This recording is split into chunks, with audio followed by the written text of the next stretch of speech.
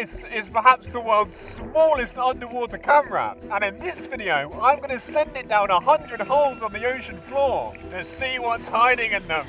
Oh dear. Oh dear. It just attacked the camera. But let's rewind to before the camera went into caves, sponges, and sea cucumbers' buttholes Here goes nothing. To hole number one. Oh, there's a perfect little burrow just there. There's definitely something down there that is a deep, dark hole. Oh, it's a little jawfish. This is a variable jawfish, so named because of its ability to change colour. This individual has likely turned orange to signal a readiness to mate, which is in stark contrast to their more typical brown coloration. They're called jawfish for a couple of reasons. The first one is that the males will actually brood the eggs in their mouths. And the second reason, and this one's just demonstrated it very well, is that they also move the rocks around their burrows using their big mouths. And this guy's just picked a pebble up and stuck it over the top, so I can no longer see him. But while some holes are carefully excavated by a single occupant, others are chaotic, packed with species competing for shelter, space, or the best hunting spots, like in hole number 13. Right, let's see what's in this little hole. It's a, a big crevice underneath this big concrete mooring block. But we'll send in the spy camera.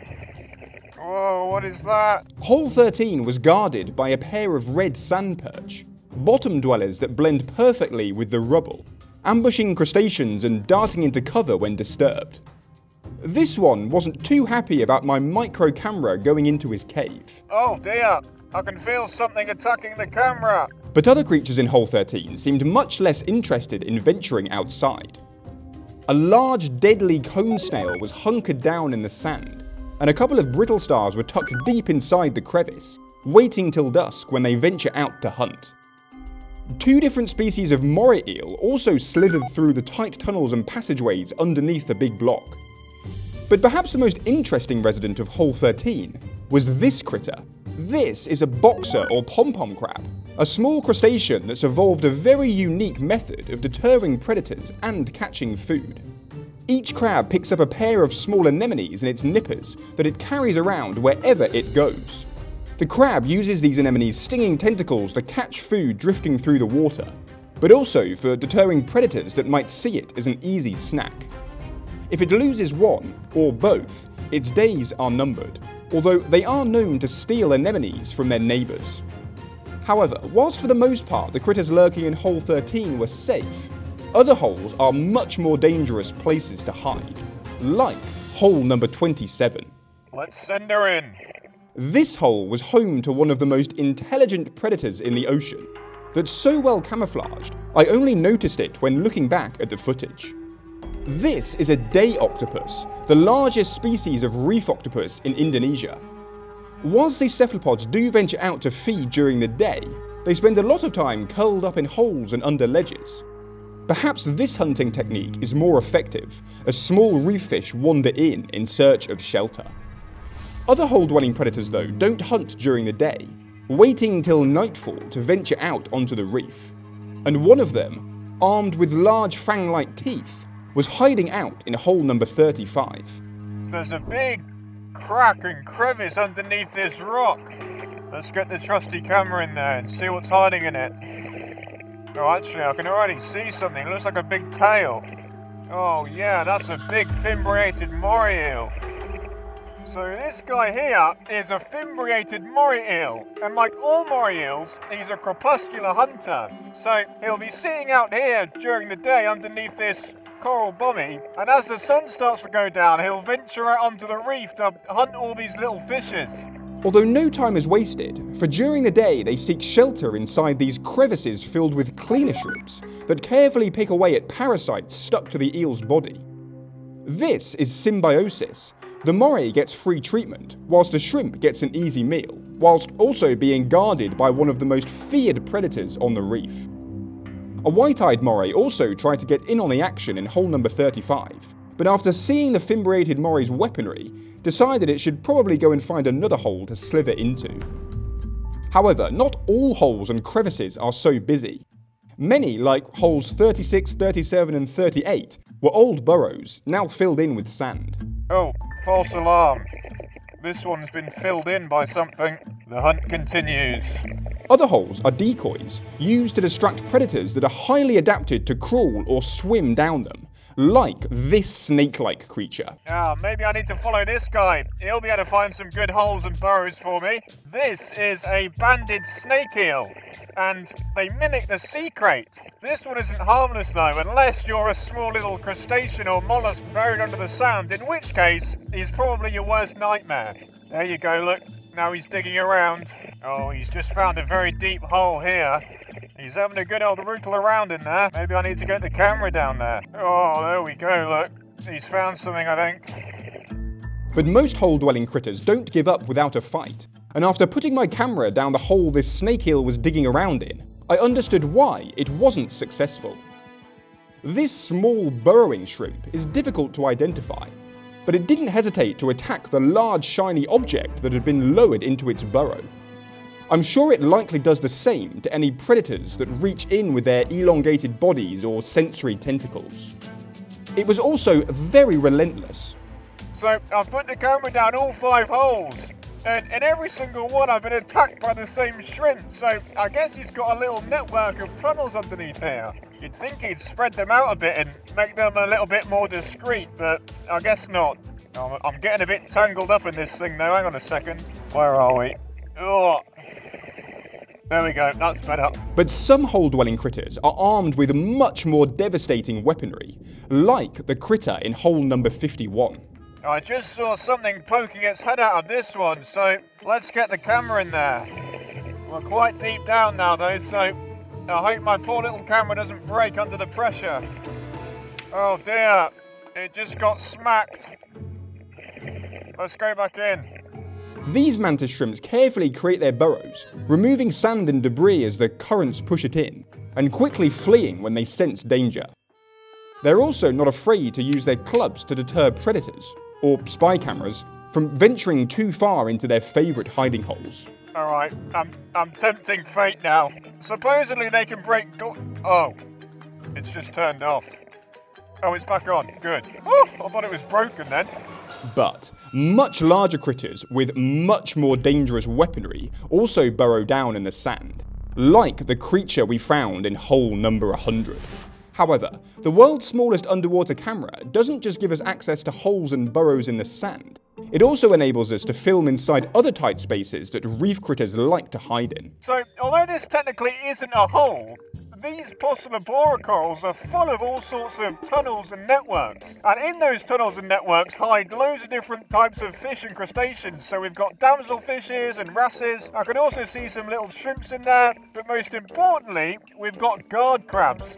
Guard crabs are so named due to their relentless attempts to guard the corals they reside in from coral predators, like the crown of thorns starfish. When these predators get too close, the crabs don't hesitate to nip them with their large pincers. Now, they come in all sorts of shapes and sizes, although perhaps the most striking is the rust-spotted guard crab. Despite looking very different, these guard crabs are united in their efforts to guard the corals they reside in. After all, without them, they'd have nowhere to hide. But it's not just corals that provide shelter for such a useful residence. So, like corals, these sponges here are actually animals.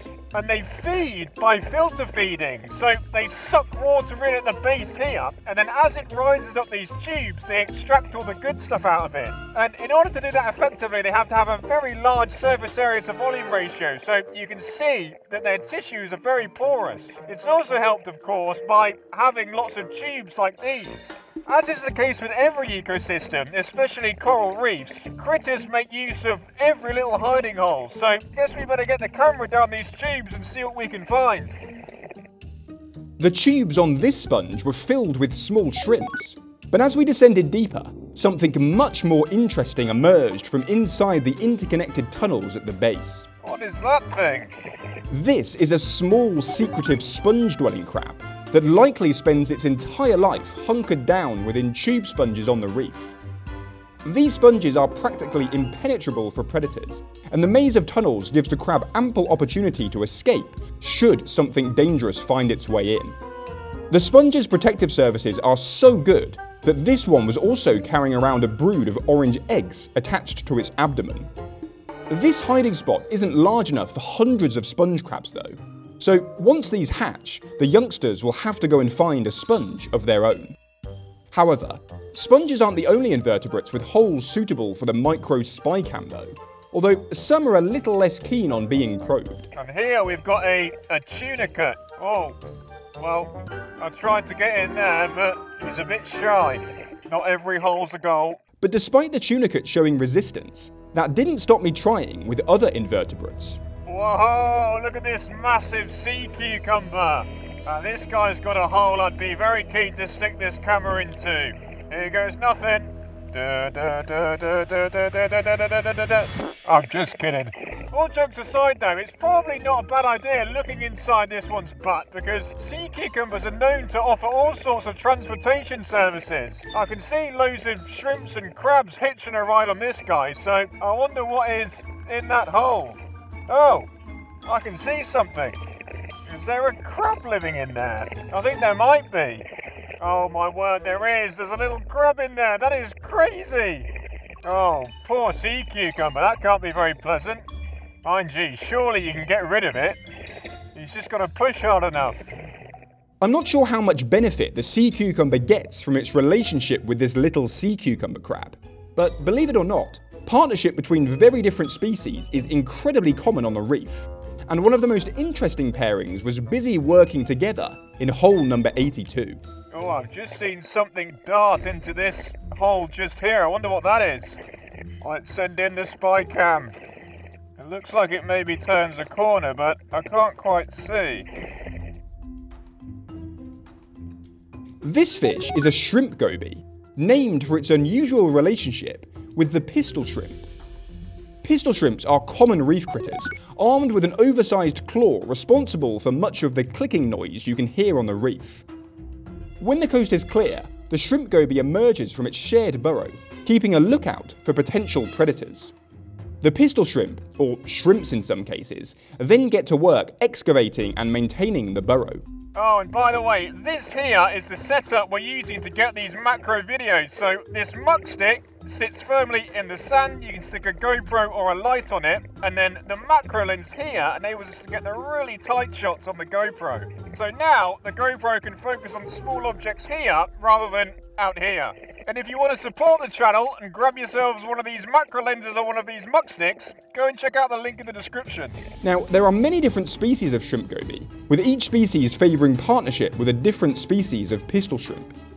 However, all the different combinations work together in exactly the same way. The pistol shrimp is the workhorse, whilst the goby keeps a lookout, and there are dangers everywhere. Other critters also shoot back into their holes when a threat presents itself. So there's a couple of little holes, one just here and one over there, that I think are a home of a really weird species of worm, but I've never really known and I've never obviously had a camera inside them, so Let's get it down there and see what we can see. It's going to be a tight fit.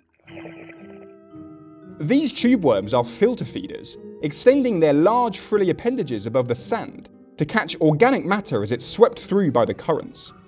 Many different species of filter feeding worms reside in different holes on the reef. Some burrow into corals or crevices in the rocks, whilst others design their own homes. The worm basically secretes a mucus that sticks to sand and rubble and creates this tube that then runs underneath the sand. And it will stay in that tube for its entire lifetime, hunting from it and hiding in it.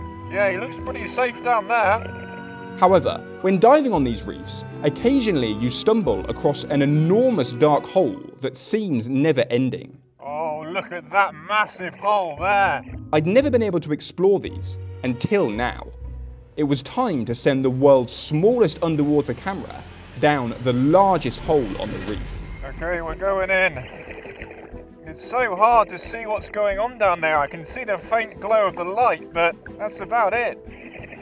The entrance to this tunnel descended over a foot below the surface before sharply bending round. Just beyond the junction, a small goby appeared, but this definitely was not the creature responsible for digging such a large hole. And given what happened next, it was quite surprising to see such a small fish seeking shelter within this burrow. Oh, it just attacked the camera. Oh, and on that note, I'll see you next time. Guys, we're working on some improvements to the microcam so we can go deeper and get much clearer imagery. If you want to see what we find next, make sure to hit that subscribe button. And if you're in the mood for more ocean adventures, you'll probably like this video.